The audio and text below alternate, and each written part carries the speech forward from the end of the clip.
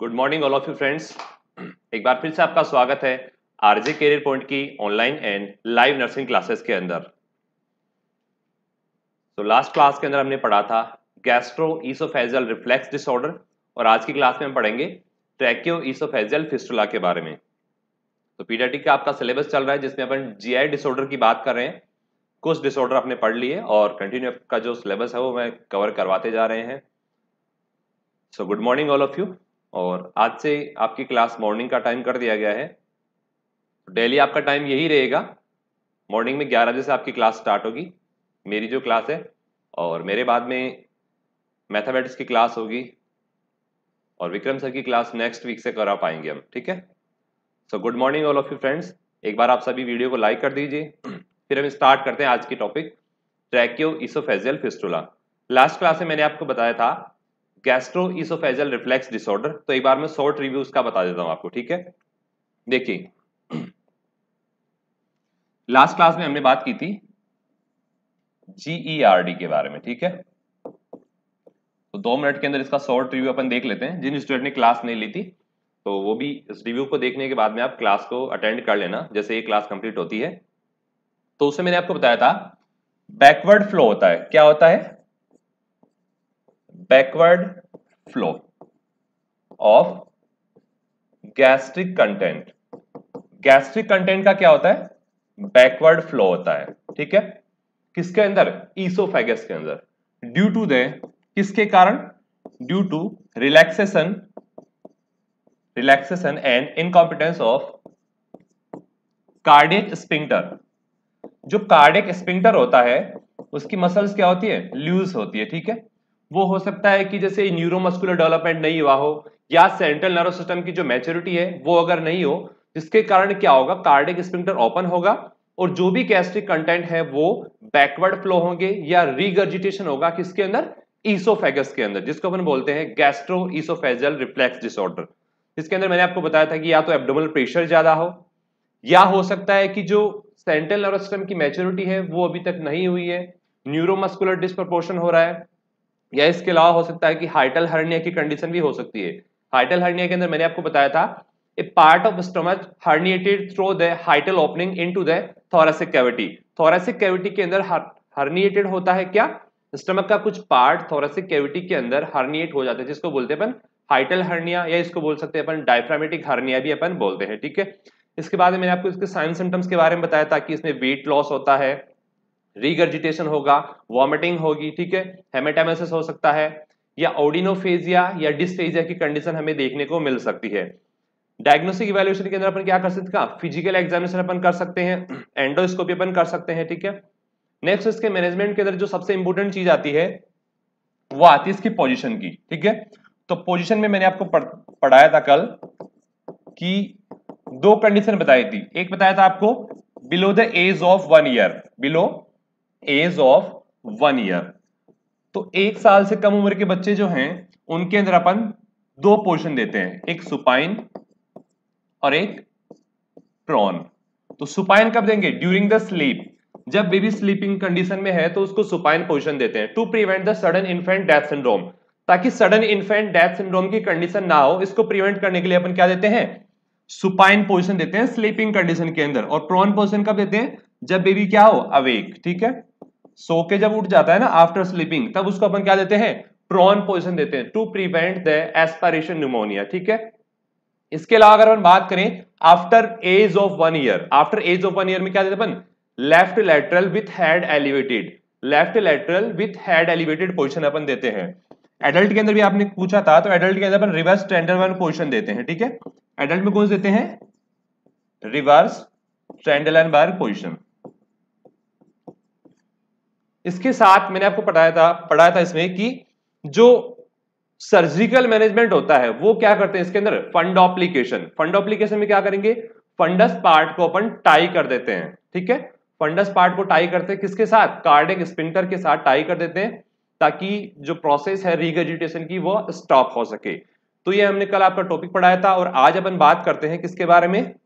Tracheo esophageal fistula important topic है, यहाँ से क्वेश्चन भी पूछे जाते हैं, ठीक है? तो देखिए ट्रैकियो इसोफेजल फिस्टुला के अंदर क्या क्या कंडीशन होती है? एक्चुअली ये कंडीशन होती क्या है? इसके बारे में देखिए। दो आपको यहाँ पर देखने को मिल रहे trachea and esophagus and next term is fistula तो पहले आपको बताता हूँ मैं फिस्टुला क्या होता है, ठीक है? फिस्टुला इज़ एन फिस्टुला क्या होता है? An abnormal connection abnormal connection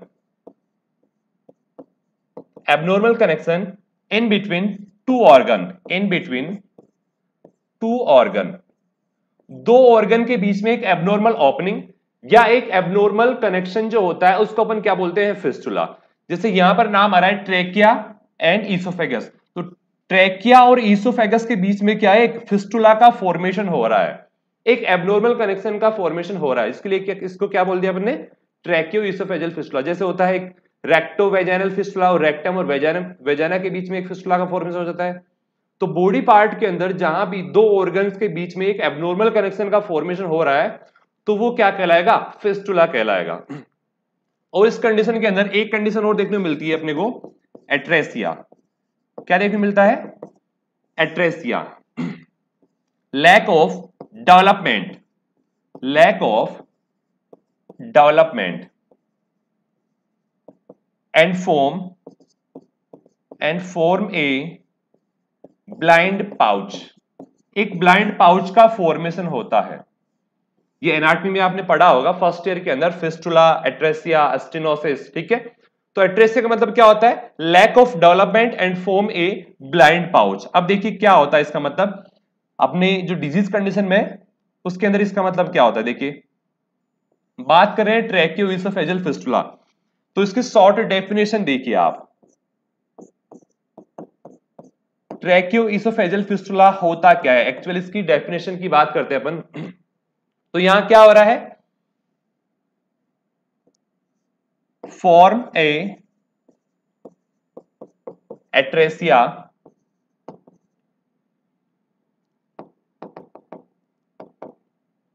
form a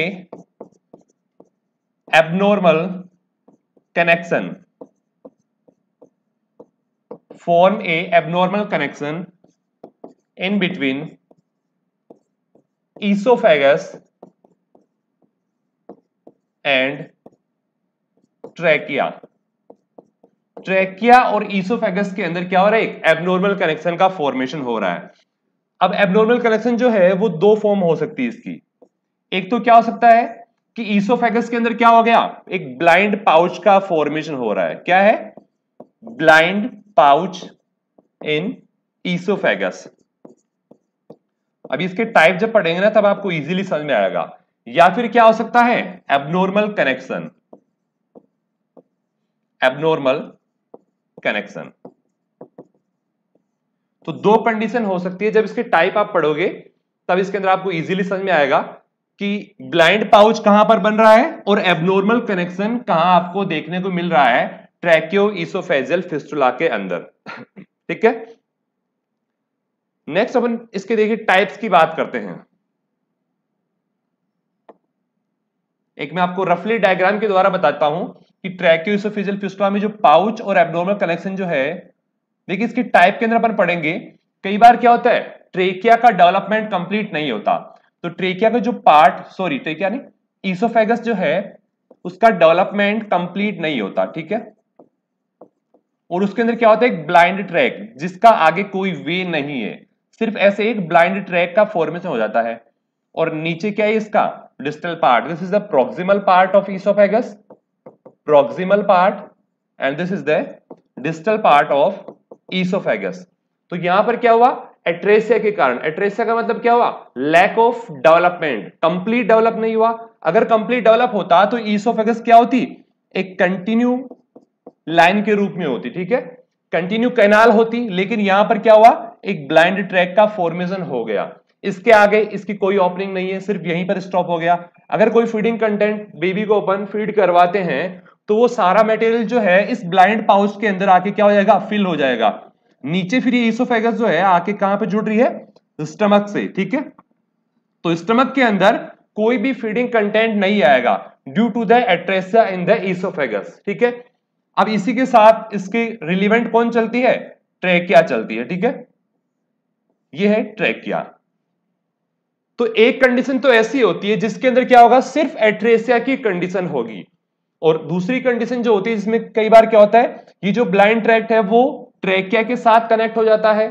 कई बार क्या होता है कि जैसे ये ब्लाइंड ट्रैक्ट ऐसे रह जाता है और जो प्रोक्सिमल डिजिटल पार्ट है, वो ट्रैकिया के साथ कनेक्ट हो जाता है। तो इसके बेसिस पे इसके कुछ टाइप्स दिए गए हैं। तो पाँच अपन डिफरेंट टाइप पढ़ेंगे, ठीक है? पाँच इसके टाइप दिए गए हैं। फ़र्स्ट देखिए, इस डायग्राम को आप समझना।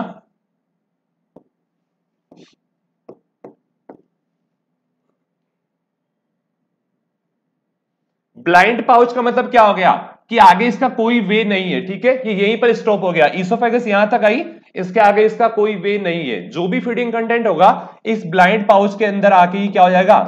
फिल होगा। आगे नहीं जा पाएगा, ठीक है? अब ये क्या है? प्रोक्सिमल पार्ट ऑफ़ ईसोफेगस आपको इस पेन से दिखाई दे रहा है क्या? देखिए, ये क्या है? Proximal part and this is the distal part ये है oesophagus this is the type first ठीक है? ये है टाइप फ़र्स्ट अब टाइप फ़र्स्ट के अंदर आपको दिख रहा है, ये क्या है? ट्रैकिया ट्रैकिया है, ठीक है? तो टाइप फ़र्स्ट के अंदर आपको दिख रहा है कि जो ईसोफेगस का प्रोक्सिमल पार्ट है, उसके अंदर भी क्या है? एट्रेसिया है, और डिस्टल पार्ट है, उसमें भी क्या है? एट्रेसिया है। फिस्टुला यहाँ पर एबसेंट है। तो फ़र्स्ट टाइप में क्या होता है? Both proximal end both proximal end distal part have atresia proximal और डिस्टल एंड जो है ईसोफेगस के, दोनों के अंदर क्या है? एट्रेसिया है लैक ऑफ़ डेवलपमेंट है, दोनों की ओपनिंग एक दूसरे से कम्युनिकेट नहीं है, ठीक है? दोनों के बीच में गैप है और दोनों क्या है? ब्लाइंड ट्रैक का फॉर्मेशन कर रहे हैं। ब्लाइंड ट्रैक का मतलब क्या हुआ? एक ऐसी गुफा हो, जिसका आगे जाकर दूसरा वे नहीं निकल रहा हो, ठीक है? आगे रास्ता बंद है। तो सेम एज इट इज़ यही कंडीशन है। ईसोफेगस आई, और लेकिन यहाँ से इसका जो वे है, वो क्लोज हो गया। आगे रास्ता बंद है, ठीक है? तो एक ब्लाइंड ट्रैक्ट हो गया। एक ऐसा रास्ता जो आगे जाकर क्या है? बंद है, ठीक है? समझ में आ गया? लेकिन इसका जो ट्रेकिया के साथ है, कोई रिलेशन नहीं है। मतलब क्या हो गया? फिस्टुला एबसेंट क्या है? फिस्टुला एबसेंट है। तो टाइप फ़र्स्ट के अंदर आपने देखा कि प्रोक्सिमल और डिस्टल पार्ट दोनों के अंदर एट्रेसिया प्रेजेंट है और फिस्टुला जो है वो एबसेंट है। समझ में आ गया?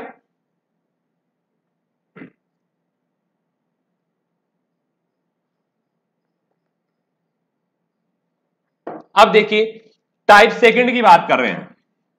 Next is type second this is the type second अब आप इसको इजीली देख के समझ सकते हो। ठीक है? ये same as it is proximal end this is the distal proximal और डिस्टल एंड है। किसके? ईसोफेगस के। और ये क्या है? ट्रैकिया है। जो इसके साइन सिम्टम्स है, वो भी इन्हीं पे बेसिस होंगे। अब इसके अंदर आप चीज़ देख लीजिए, जो ईसोफेगस का एक वे आ रहा है, वो किसके साथ कनेक्ट हो रहा है? ट्रैकिया के साथ कनेक्ट हो रहा है। एयर वे यहाँ से आ रहा है, ठीक है? यहाँ से क्या है? एयर एंटर कर रही है लंग्स के अंदर। नीचे जाके इसके क्या है? लंग्स है। यहाँ पर क्या है? इस तरह भी लंग्स है, ठीक है? तो अब अगर अपन कोई भी फीडिंग कंटेंट देते हैं बेबी को तो वो सीधा कहाँ जाएगा? लंग्स के अंदर जाएगा, ठीक है? और यहाँ पर क्या हो सकता है? एस्पायरेशन निमोनिया की कंडीशन हमें देखने को मिल रही है। तो अब देख लीजिए, ये क्या बना रहा है यहाँ पर? फिस्टुला का फॉर्मेशन कर रहा है। ट्रेकियो इसोफेजियल फिस्टुला तो बात क्या हो गई यहाँ पे? जो प्रोक्सिमल एंड है fistula present at proximal end क्या हो गया यहाँ पर? Fistula present at proximal end oesophagus के प्रोक्सिमल एंड पर क्या है?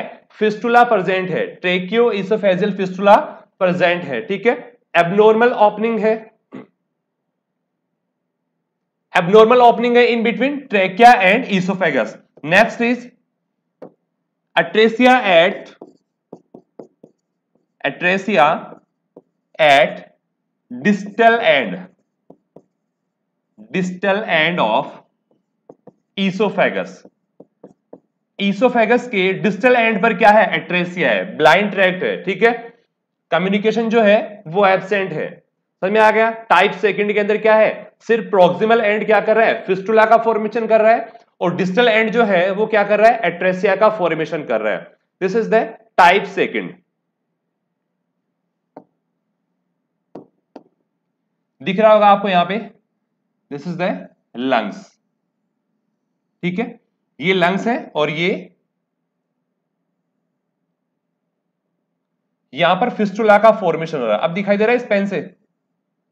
ये एयर यहाँ से एंटर कर रही है। अब जो भी फीडिंग कंटेंट देंगे, वो यहाँ पर कहाँ आएगा?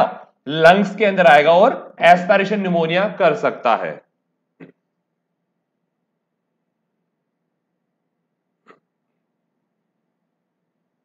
नेक्स्ट देखिए टाइप थर्ड टाइप थर्ड की बात करते हैं। This is the type third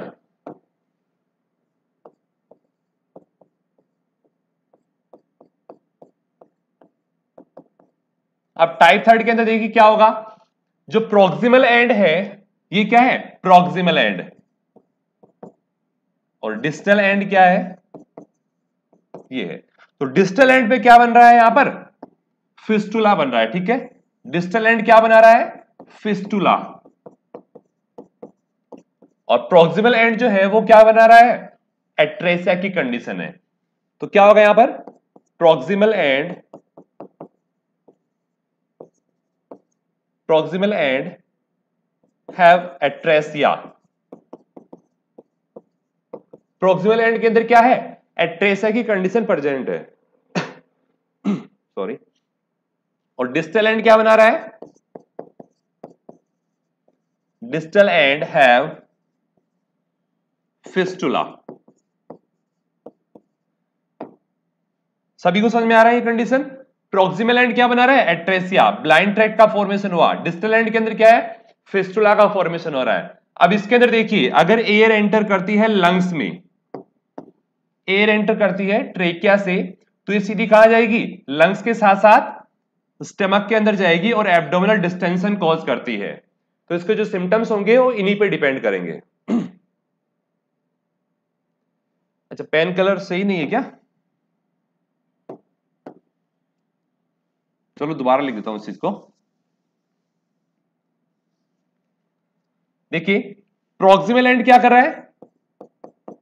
Proximal end have atresia.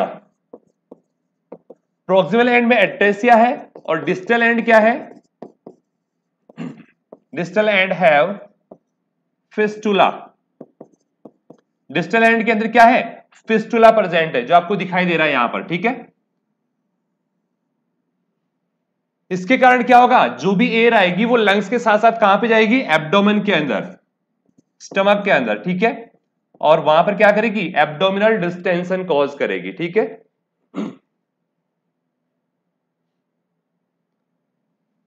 First जो फ़र्स्ट कंडीशन थी, वो eight to nine percent cases के अंदर प्रेजेंट होती है, ठीक है? अब इस चीज़ के बारे में देखिए। This is the most common condition this is the most common condition ये आपको पूछता है। बाकी वैसे परसेंटेज आपको डिफरेंट डिफरेंट नहीं पूछेगा।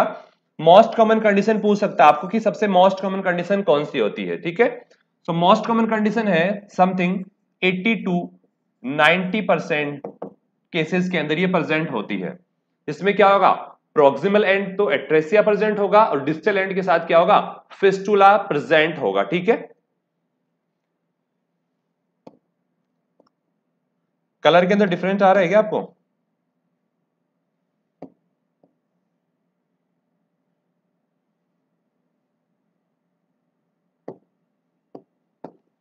चलो देखिए। थर्ड टाइप हो गया। नेक्स्ट देखिए। टाइप फोर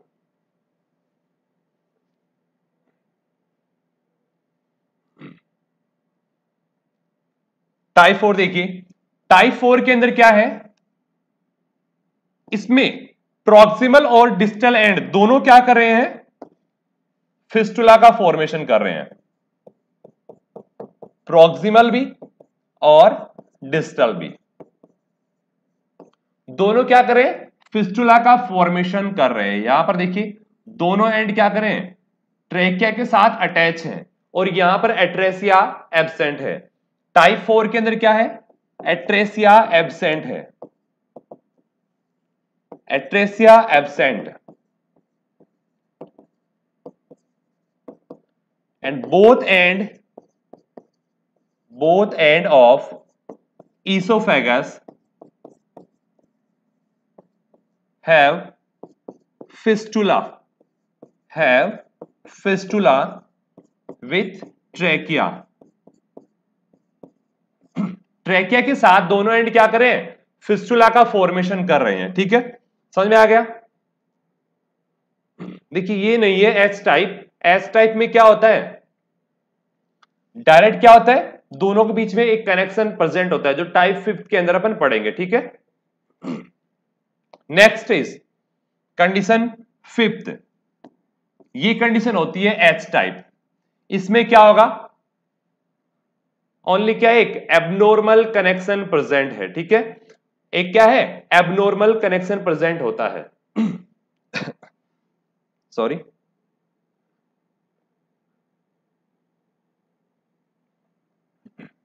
यहाँ पर क्या है सिर्फ़? फिस्टुला प्रेजेंट है, ठीक है? यहाँ पर क्या है? फिस्टुला प्रेजेंट है। इसको बोलते अपन also known as H type also known as H type इसको क्या बोलते हैं अपन? एच टाइप कंडीशन भी बोलते हैं, ठीक है? इसमें क्या होता है? एट्रेसिया एबसेंट एट्रेसिया क्या होता है? Absent only fistula present. Only fistula present. तो ये पाँच टाइप हो गए बेसिकली आपको समझ में आ गए होंगे? ठीक है? नेक्स्ट अपन बात करते हैं इसके कॉजेस की। इसके कॉजेस की बात करते हैं। तो पॉजिटिव एजेंट के अंदर देखिए क्या क्या कॉजेस हो सकते हैं? रेडिएशन ड्यूरिंग द प्रेगनेंसी अगर फीमेल ज़्यादा रेडिएशन एक्सपोजर हो रही है, जिसके कारण क्या हो सकता है यहाँ पे? ट्रैकियो इसोफेजल फिस्टुला की कंडीशन हमें देखने को मिल सकती है, ठीक है? Next is maternal infection maternal infection के कारण and chromosomal abnormality chromosomal abnormality के कारण भी हमें देखने को मिल सकता है क्या? टीईएफ ठीक है? तो ये कुछ इसके पॉजिटिव एजेंट होते हैं जिसके कारण ट्रैकियो फिस्टुला हमें देखने को मिल सकता है। टाइप फोर फिर से बताएँ। देखिए टाइप फोर के अंदर क्या समझ में आया आपको? इसमें क्या होता है? प्रोक्सिमल और डिस्टल एंड क्या होते हैं? डायरेक्टली क्या हो रहे हैं? ट्रेकिया से अटैच हो रहे हैं। डायरेक्टली क्या है? ट्रैकिया से अटैच हो रहे हैं और एक फिस्टुला का फॉर्मेशन कर रहे हैं। यहाँ पर भी क्या होता है? एट्रेसिया एबसेंट होता है। दोनों एंड जो होते हैं both end of oesophagus have fistula दोनों एंड क्या कर रहे हैं? फिस्टुला का फॉर्मेशन कर रहे हैं, ठीक है?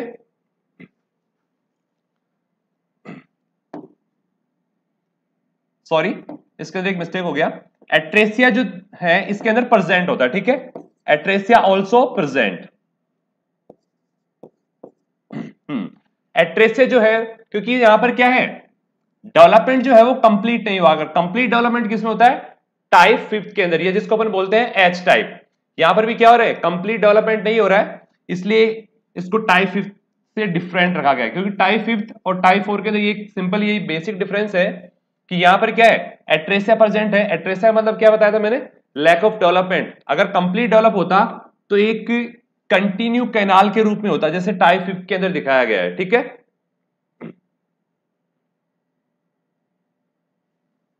समझ आ गया सभी को? टाइप फोर के अंदर atresia also present atresia type four के अंदर प्रेजेंट होता है। नेक्स्ट देखिए। पॉजिटिव एजेंट की बात करें तो रेडिएशन है मेट्रल इंफेक्शन है एंड क्रोमोसोमल एब्डोर्मलिटी है, ठीक है? अब अपन बात करते हैं इसके साइन सिम्टम्स के बारे में। साइन एंड सिम्टम्स तो साइन सिम्टम्स के अंदर देखिए, सबसे मोस्ट कॉमन जो साइन सिम्टम है, वो है थ्री सी थ्री सी के अंदर फ़र्स्ट है coughing choking coughing and choking देखिए कफिंग और चॉकिंग कब होते हैं? ड्यूरिंग द फीडिंग जब बेबी को अपन फीडिंग करवा रहे हैं। And last C is cyanosis cyanosis just after feeding after feeding क्या देखने को मिल सकता है अपने को? साइनोसिस कंडीशन देखने को मिल सकती है। ठीक है? कफिंग और चोकिंग क्या होता है? जब अपन बेबी को अगर फीडिंग करवा रहे हैं तो उस टाइम में क्या होता है? बेबी को कफिंग कर सकता है। क्योंकि एट्रेसिया या फिर फिस्टुला के कारण क्या हो सकता है? जो भी फीडिंग कंटेंट है, वो अगर रेस्पिरेटरी ट्रेक के अंदर चला जाएगा तो उस टाइम क्या हो सकता है? कफिंग हो सकती है। चौकिंग का मतलब क्या होगा? रेस्पिरेशन क्या हो सकता है? स्टॉप हो सकता है। फॉर ए मोमेंट कुछ टाइम के लिए रेस्पिरेशन क्या हो सकता है? स्टॉप हो सकता है ड्यू टू फीडिंग ठीक है? और साइनस में क्या होगा? डिस्कलरेशन ठीक है? ब्लूस डिस्कलरेशन होगा स्किन का due to the lack of oxygen lack of oxygen oxygen की कमी के कारण क्या होगा? ब्लूस डिस्कलरेशन हो जाएगा, ठीक है? क्योंकि प्रॉपर जो एट्रेसिया या फिर जैसे मान लो इस कंडीशन है, इस कंडीशन में अगर बेबी को अपन कुछ फीडिंग करवा रहे हैं फीडिंग करवाते टाइम में क्या होगा? जो फीडिंग कंटेंट है वो रेस्पिरेटरी ट्रेक के अंदर चला जाएगा, जिसके कारण क्या होगा? प्रॉपर ऑक्सीजन सप्लाई नहीं होगी और रेस्पिरेशन क्या होगा? स्टॉप हो सकता है। और प्रॉपर अगर रेस्पिरेशन नहीं होगा ऑक्सीजन की कमी होगी तो यहाँ पर अपने को साइनोसिस की कंडीशन भी देखने को मिल सकती है।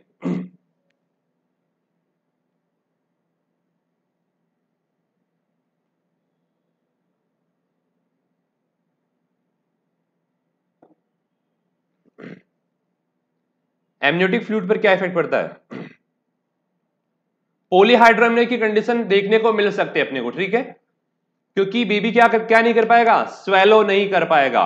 पोलीहाइड्रोमनियोस की कंडीशन हमें देखने को मिल सकती है। आप सभी को पता है कि जब एमनियोटिक फ्लूड का फॉर्मेशन होता है तो उसमें मोस्ट कॉमन जो पार्ट होता है वो होता है foetal urine foetal urine is the most common part of amniotic fluid अब फीटस क्या करेगा? कंटिन्यू यूरिन आउटपुट करना स्टार्ट कर देगा। 12 वीक ऑफ़ एज जब बेबी की 12 वीक होती है जेस्टेशनल एज तब वो क्या करता है? फीटल जो किडनी है वो यूरिन का फॉर्मेशन स्टार्ट कर देती है। और उसी टाइम में फीटस क्या करता है? एमनियोटिक फ्लूड को स्वेलो करना स्टार्ट करता है। लेकिन अगर ट्रैकियो इसोफेजियल फिस्टुला की कंडीशन है तो वो स्वेलो नहीं कर पाएगा। और स्वेलो नहीं करेगा तो धीरे धीरे एमनियोटिक फ्लूड बढ़ता जाएगा और पोलीहाइड्रोमिनस की कंडीशन देखने को मिल सकती है। ठीक है?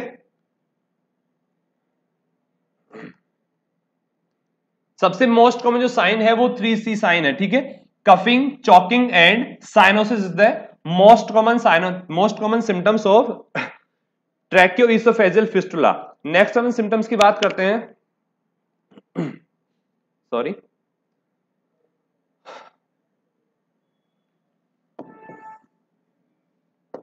नेक्स्ट देखिए। एक्सेसिव ड्रूलिंग होगी। क्या होगी? एक्सेसिव ड्रॉलिंग मतलब एक्सेसिव सेलाइवेशन होगा। क्योंकि जो भी ओरल सीक्रेशन है या सेलाइवा सीक्रेशन है, वो स्वेलो नहीं कर पाएगा baby next abdominal distension abdominal distension की कंडीशन भी देखने को मिल सकती है. ठीक है?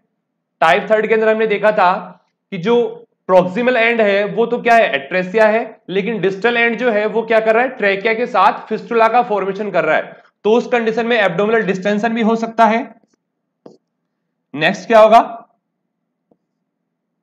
Failure to thrive failure to thrive failure to thrive का मतलब क्या होगा? जो रिकॉग्नाइज डेवलपमेंट जितना होना चाहिए एवरेज उसकी एज के अकॉर्डिंग एवरेज वेट गेन जितना होना चाहिए, जितना डेवलपमेंट होना चाहिए बेबी का, वो नहीं हो पाएगा। क्योंकि प्रॉपर फीडिंग अपन करवा नहीं पा रहे हैं। बेबी जो है स्वेलो नहीं कर पा रहा। जो फीडिंग करवा रहे हैं, वो रिगजिटेट हो रही है वॉमिट आउट हो जाती है। या प्रॉपर जो है, अब जब एट्रेसिया या फिर यहाँ पर फिस्टुला की कंडीशन है तो जो भी फीडिंग कंटेंट बेबी लेगा, ठीक है, वो प्रॉपर क्या होंगे? स्टमक के अंदर नहीं पहुँच पाएँगे तो वहाँ से उसका जो एब्जॉर्प्शन नहीं हो पाएगा और प्रॉपर बॉडी वेट जितना बढ़ना चाहिए, उसकी एज के अकॉर्डिंग उसका डेवलपमेंट जितना होना चाहिए, वो नहीं हो पाएगा। इसलिए कंडीशन आती है failure to thrive and next is poor weight gain poor weight gain. ठीक है? रेस्पायरेटरी डिफिकल्टी होगी। रेस्पायरेटरी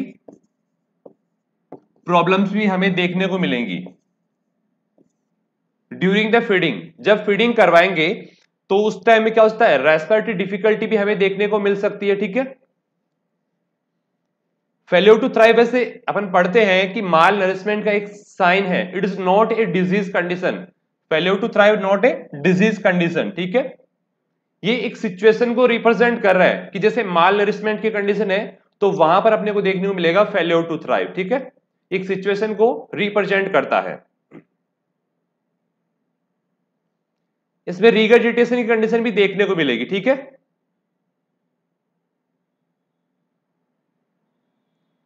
ये हो गई इसके कुछ सिम्टम्स के बारे में। तो मोस्ट कॉमन सिम्टम्स जो है, वो है थ्री सी इन्हीं में से मोस्ट टाइम जो है क्वेश्चन पूछा जाता है आपको एग्ज़ाम के अंदर।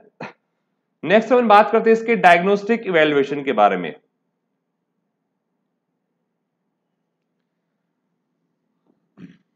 डायग्नोस्टिक इवेल्युएशन अब डायग्नोस्टिक इवेल्युएशन में अपन क्या करेंगे? एक्सरे एंड यूएसजी ठीक है?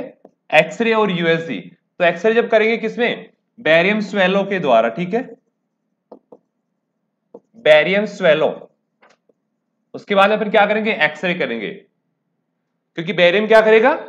लाइट रिफ्लेक्शन करेगा, जिसके कारण अपन देख सकते हैं कि जो फीडिंग कंटेंट है वो कहाँ तक गया है और जो वे है एक्चुअली जो वे है, जो कहाँ पर एबनॉर्मल होगा, कि कहाँ पर एबनॉर्मलिटी हमें देखने को मिल सकती है कि टाइप फ़र्स्ट है सेकंड है थर्ड है या फोर है, ठीक है? वो सारा हमें विजिबल हो जाएगा एक्सरे के द्वारा, ठीक है? नेक्स्ट हम बात करते हैं इसके मैनेजमेंट की। तो मैनेजमेंट के अंदर सबसे पहले देखिए pre operative management pre operative pre operative management क्या करेंगे? प्री ऑपरेटिव मैनेजमेंट के अंदर देखिए। फ़र्स्ट इज़ एनपीओ रखेंगे। क्या रखेंगे? नथिंग पर ओरल ओरली अपन कुछ भी प्रोवाइड नहीं करेंगे, ठीक है?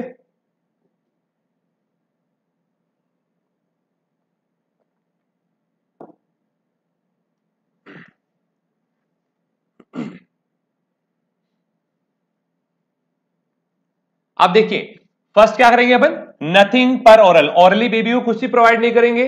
Next is parenteral nutrition parenteral nutrition या आईवी थेरेपी के द्वारा? अब पेरेंटल न्यूट्रिशन के अंदर दो कंडीशन है। First is complete and second is partially तो कंप्लीट पेरेंटल न्यूट्रिशन जो करेंगे अपन अकॉर्डिंग टू प्रेस्क्रिप्शन अपन करते हैं complete and partially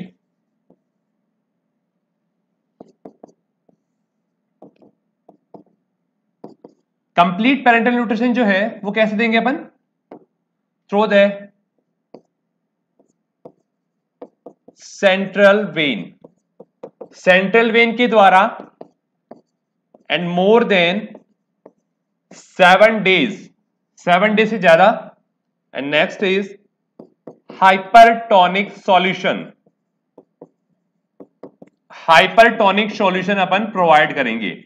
complete parental nutrition के अंदर। और पार्सली के अंदर क्या करेंगे?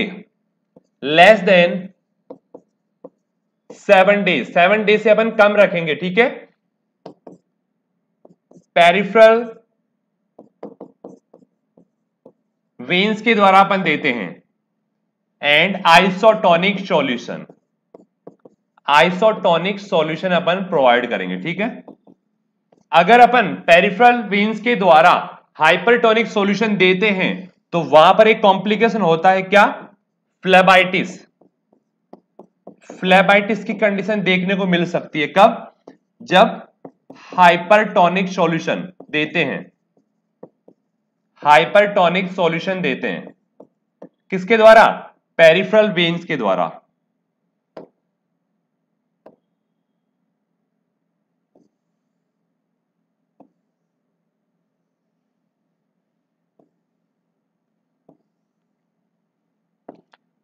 हाइपरटोनिक सॉल्यूशन कैसे देते हैं? पेरिफेरल वेन्स अगर पेरिफेरल वेन के द्वारा अपन हाइपरटोनिक सॉल्यूशन देते हैं तो वहाँ पर फ्लेबाइटिस एक कॉम्प्लिकेशन देखने को मिलता है। इसलिए हाइपरटोनिक सॉल्यूशन देने के लिए सेंट्रल वेन अपन यूज़ में लेते हैं। और मोर देन सेवन डेज़ के लिए अपन क्या करते हैं? कंप्लीट पेरेंटल न्यूट्रिशन देते हैं। और जो पार्शियली है, उसमें लेस देन सेवन डेज़ अपन देते हैं। पेरिफेरल वेन्स के द्वारा देते हैं और आइसोटोनिक फ्लूड अपन प्रोवाइड करते हैं। ठीक है? नेक्स्ट देखिए सर्जरी भी बताएँगे आपको। पहले अपन मैनेजमेंट की बात कर रहे हैं प्री ऑपरेटिव मैनेजमेंट उसके बाद अपन सर्जरी करेंगे, फिर उसके बाद में पोस्ट ऑपरेटिव मैनेजमेंट अपन करेंगे, ठीक है? पोजीशन की बात करें तो पोजीशन कौन सी देंगे इसके अंदर? Position supine upright position supine upright position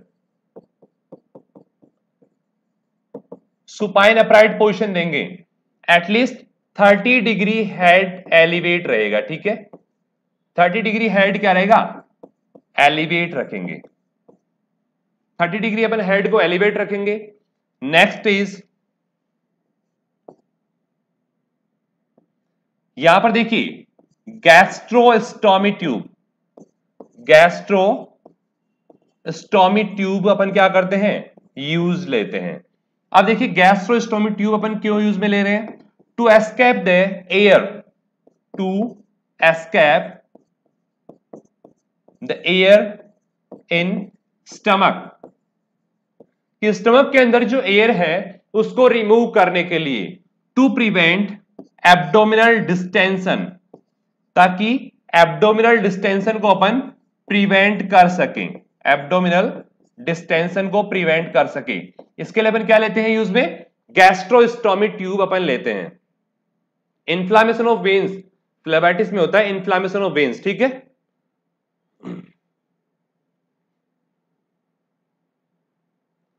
देखिए यहाँ पे गैस्ट्रोस्टोमी ट्यूब अपन यूज़ में लेते हैं। सबसे मोस्ट कॉमन है ये।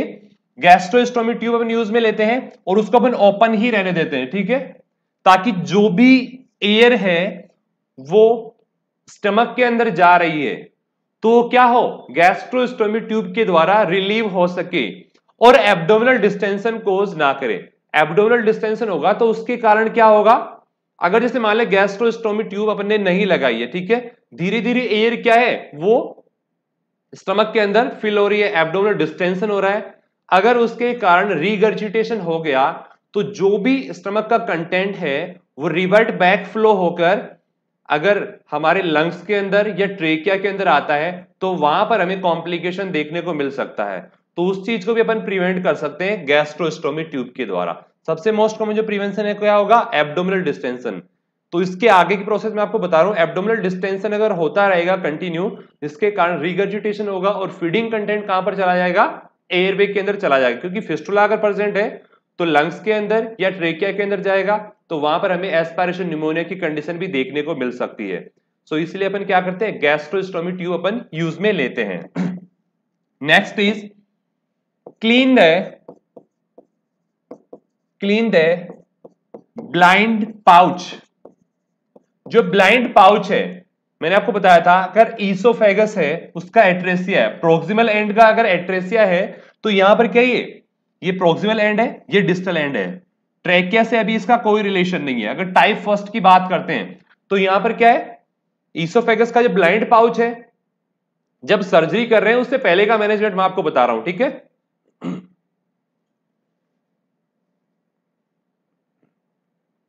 फ्लेबाइटिस में आपको बता दिया ना इन्फ्लामेशन होती है वेन्स के अंदर। अगर कंटिन्यू अपन एक जगह कैनुला भी अपन लगाए रखते हैं तो वहाँ पर क्या होता है? ट्रोम्बोफ्लेबाइटिस का फॉर्मेशन हो जाता है, ठीक है?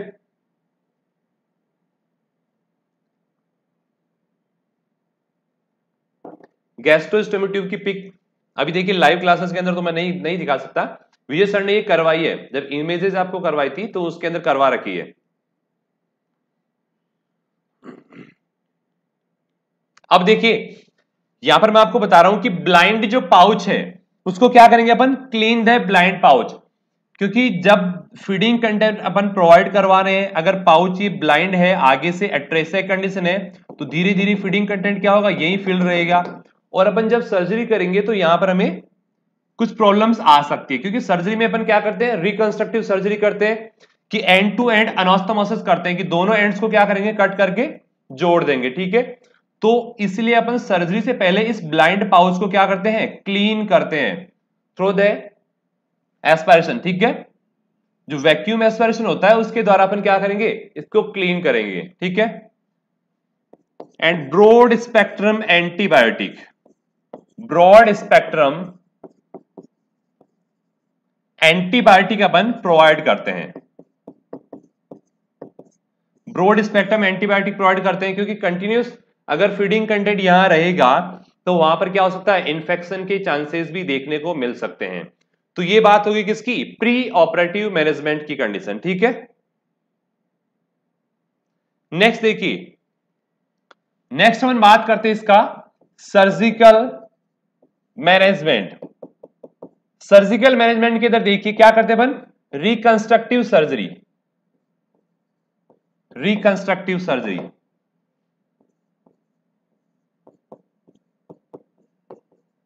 Reconstructive surgery का मतलब क्या होता है?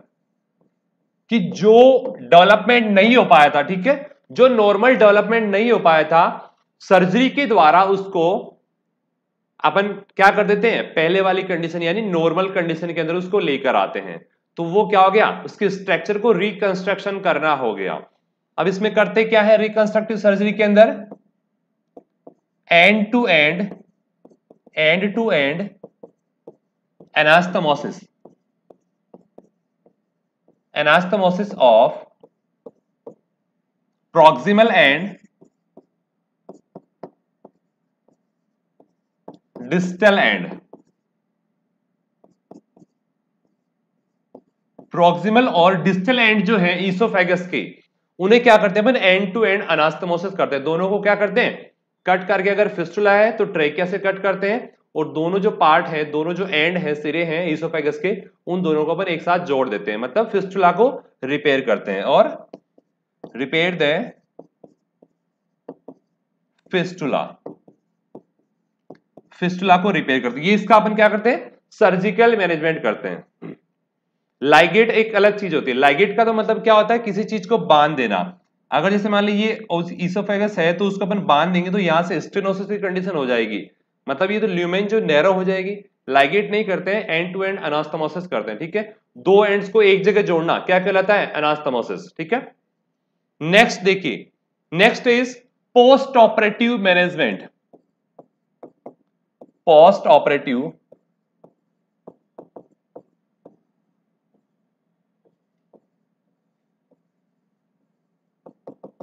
post operative management के अंदर देखिए क्या करेंगे अपन? अभी क्या करेंगे बेबी को? एनपीओ रखेंगे, ठीक है? एनपीओ रखेंगे और आईवी थेरेपी चलती रहेगी, ठीक है? आईवी थेरेपी चलती रहेगी। अब इसके साथ साथ अपन क्या करेंगे? जो भी ऑरल फीडिंग कंटेंट है, ठीक है? वो जैसे फोर टू फाइव डेज़ तक अपन क्या करेंगे? After four to five days जब तक हील नहीं हो जाता, उसके बाद में स्मॉल फ्रीक्वेंट डाइट देते हैं। क्या देते हैं? स्मॉल फ्रीक्वेंट डाइट प्रोवाइड करते हैं। After four to five days antibiotics upon provide करवाते हैं। इसमें सबसे मोस्ट कॉमन एक चीज़ देखना, जो गैस्ट्रोस्टोमी ट्यूब जो होती है गैस्ट्रोस्टोमी ट्यूब। ठीक है? Gastrostomy tube keep the level keep the level up to stomach stomach के लेवल पे अपन क्या करते हैं? गैस्ट्रोस्टोमिक ट्यूब को रखते हैं। और उसको रिमूव कब करते हैं? Remove after five to seven days पाँच से सात दिन बाद अपन क्या करते हैं इसको? रिमूव करते हैं, ठीक है? पाँच से सात दिन बाद अपन क्या करते हैं? रिमूव करते हैं, ठीक है?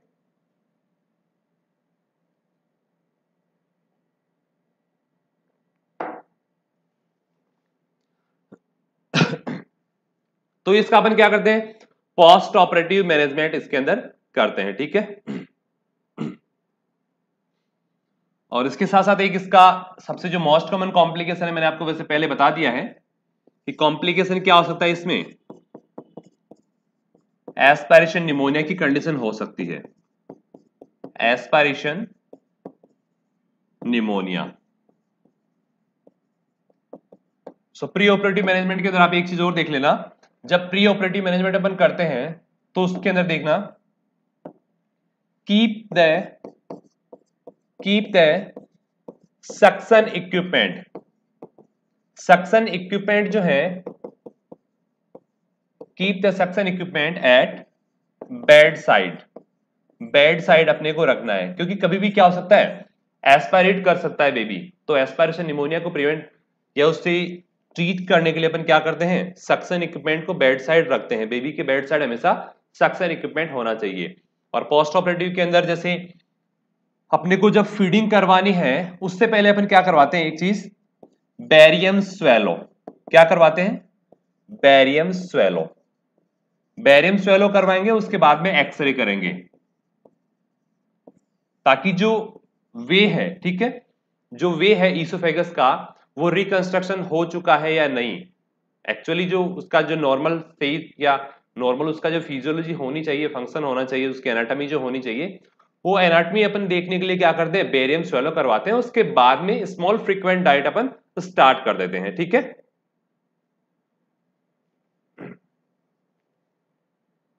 तो समझ में आ गया सभी को? आज की क्लास में हमने बात की किसके बारे में?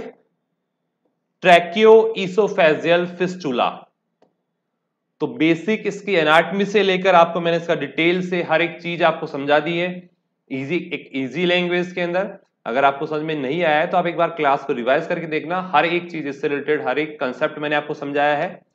ठीक है? तो इसके साइंस सिम्टम्स और एक बार जो मोस्ट कॉमन टाइप है, वहाँ से या इसके साइंस सिम्टम्स के बारे में से क्वेश्चन आता है और उसके बाद में जो मैनेजमेंट है, वहाँ से इंपोर्टेंट क्वेश्चन आते हैं। प्री ऑपरेटिव मैनेजमेंट में से सबसे ज़्यादा क्वेश्चन पूछे जाते हैं और साइंस सिम्टम्स के अंदर थ्री सी मैंने आपको साइंस सिम्टम्स बताए हैं कफिंग चॉकिंग एंड साइनोसिस तो वहाँ से इंपोर्टेंट क्वेश्चन पूछे जाते हैं। ठीक है?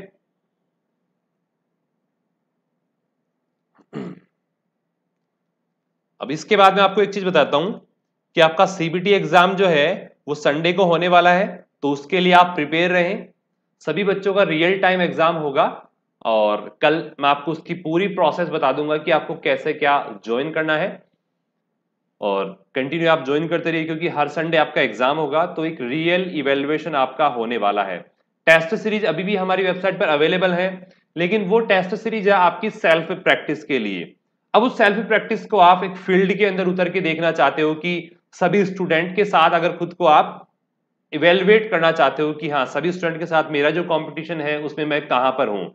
तो उस चीज़ को देखने के लिए आपको सीबीटी ज़रूर ज्वाइन करना चाहिए, ठीक है? क्योंकि सीबीटी के अंदर हम क्या करें रियल टाइम एग्ज़ाम ले रहे हैं। यू नो रियल टाइम जब एग्ज़ाम होगा, तभी आपको एक रियल कंपटीशन का पता चलेगा। अगर ऐसे आप जो टेस्ट सीरीज़ आप ज्वाइन करते हो, जैसे अभी हमारी वेबसाइट पर टेस्ट सीरीज़ अवेलेबल है, वो है आपकी सेल्फ प्रैक्टिस के लिए, खुद को इवेलुएट करने के लिए कि हाँ मैंने जो तैयारी की है, उसके अंदर कोई कमी तो नहीं रह गई। लेकिन आपको वो चीज़ कहाँ पर देखने को मिलती है? फिर सेंट्रल गवर्नमेंट या स्टेट गवर्नमेंट एग्ज़ाम में देखने को मिलती है, सारा कंपटीशन एक साथ। तो वो ही कंपटीशन हम क्रिएट कर रहे हैं। स्टार्टिंग है आई होप कि अगर आपका सपोर्ट रहा तो within two two three months all around India के अंदर सभी नर्सिंग स्टूडेंट इस प्लेटफॉर्म से सीबीटी एग्ज़ाम दे पाएँगे। तो ये सपोर्ट हमें आपसे चाहिए और आपके लिए हम बेटर से बेटर अपॉर्चुनिटीज़ लेकर आ रहे हैं। सो सपोर्ट कीजिए आरजे के पॉइंट को, अपने फ्रेंड के अंदर शेयर कीजिए और वीडियो अगर आपको अच्छा लगा हो तो ज़रूर लाइक कीजिए, ठीक है? और मैथमेटिक्स की क्लास आज नहीं हो पाएगी, ठीक है? क्लास का टाइमिंग जो है वो आई होप कि मॉर्निंग के अंदर बेटर रहेगा। क्योंकि इवनिंग के टाइम में क्या होता है, कई बार मैं जैसे क्लास मेरी पिछले दो तीन दिन से मैं देख रहा था कि थोड़ी डिले हो रही थी, मैं किसी कारण से आ नहीं पा रहा था। तो कभी पंद्रह मिनट या आधा घंटा आपको वेट करना पड़ रहा था। इसलिए मॉर्निंग टाइम में मैं थोड़ा फ्री रहता हूँ, इसलिए आपकी क्लास मैंने आप जो है टाइमिंग मॉर्निंग के अंदर ज़्यादा जल्दी भी नहीं है। ग्यारह बजे तक आप आई होप कि आप सब काम करके फ्री हो जाते होंगे। वैसे भी लॉकडाउन चल रहा है और गर्मियाँ इतनी है कि आपको बाहर कहीं जाने की ज़रूरत नहीं होती होगी।